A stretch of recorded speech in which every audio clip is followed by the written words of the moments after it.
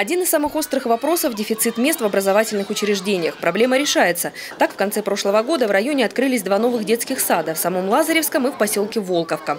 Однако многие школы все еще работают в две смены, а их модернизация идет не так быстро, как хотелось бы. Например, в Верхней Беранде реконструкция школы периодически останавливается из-за сбоев в финансировании. Лазаревцы попросили Константина Затулина разобраться и оказать содействие в решении вопроса. Помощь нужна и в решении проблем участников другой встречи – в санатории «Гренада». У жителей те же вопросы о падающих доходах, растущих ценах, занятости, медицине, капремонте. И этими проблемами, отмечает Затулин, нужно заниматься на федеральном уровне.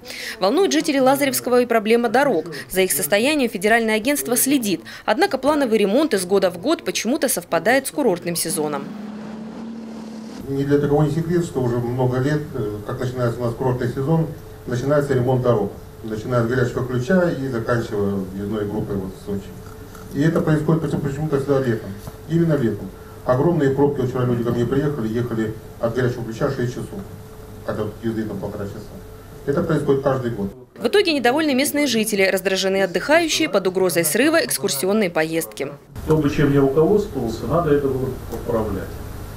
Вот. Но э, сейчас, э, по всей вероятности, мы вряд ли что-нибудь в этом году сможем исправить, с учетом того, что мы уже вступили в активный курортный сезон, ну, давайте попробуем э, разобраться с этим э, применительно к будущему году, так, чтобы в общем, быть уверенным в том, что кроме форс-мажорных случаев, как в районе там, Кадавша и э, прочих населенных пунктов, где сползла дорога, э, плановые ремонты все-таки будут осуществлены не в курортный сезон, а в предшествующее время. Найти решение предстоит в еще одной дорожной теме – организации подвоза на частном транспорте к объектам показа. Например, для жителей аула Большой Кичмай подвоз отдыхающих к водопадам на машинах повышенной проходимости зачастую единственный способ заработать в курортный сезон. Однако каждое лето они сталкиваются с проверками со стороны правоохранителей. Накануне в Кичмай вновь были стянуты силы ГИБДД и ОМОН. Такой подход кичмайцам показался чрезмерным. В течение года ничего не происходит, а ближе к курортному сезону, как вот откуда ни возьмись появляется или автоинспекция, или в данном случае уже ОМОН появился, для того, чтобы пресечь безобразие.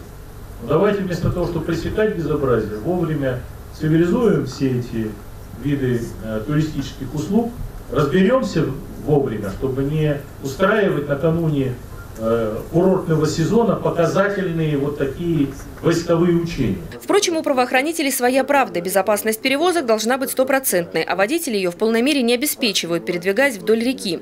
Компромиссное решение все же было найдено. По руслу реки машинам проезжать не разрешат, но есть альтернативный подъездной путь, который обследуют и в случае положительного заключения разрешат использовать для подвоза туристов. Галина Моисеева, телекомпания ВКТ.